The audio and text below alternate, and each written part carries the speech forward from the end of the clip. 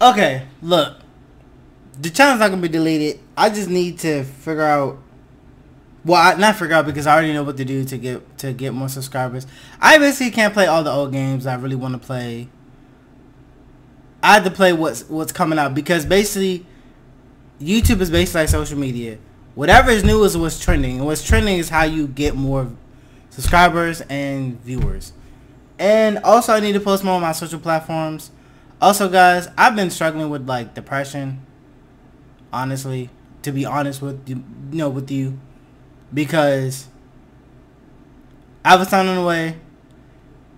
COVID nineteen is very is very like taking away my choice of getting jobs because of the full vaccination that they want the employees to have and I don't really feel safe about getting a vaccine because there's more than like from what I found there was like 17 different strands of COVID. So, yeah. And um I'm just going to have to just do what I need to do and just get up off my butt and stop being depressed. and for some odd reason, my fiance has become a stripper, and that's not gonna happen. Uh, yeah, I'm not. No, no, not gonna. No.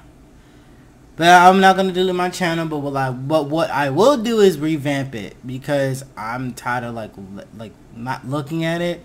But I'm gonna go through and I'm gonna make thumbnails for every single video that I can find or possibly can get to. Cause at the end of the day,